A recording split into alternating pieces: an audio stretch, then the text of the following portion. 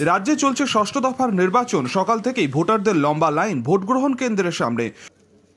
সকাল সকাল নিজের বুথে এসে ভোট দিলেন গলসি বিধানসভার বিজেপি প্রার্থী বিকাশ বিশ্বাস। এদিন কাঁকসার গৌরতলায় নির্বাচন কেন্দ্রে এসে তিনি তার ভোটাধিকার প্রয়োগ করেন।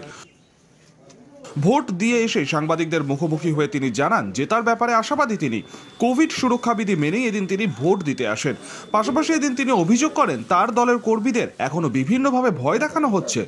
পর্যন্ত রাত্রি অন্ধকারে বিজেপির এজেন্টদের বাড়িতে গিয়ে হুমকি দেওয়া বোমা বোমা মারা তুলে নিয়ে আসা এসব তো চলতেই আছে। কোথায় হয়েছে?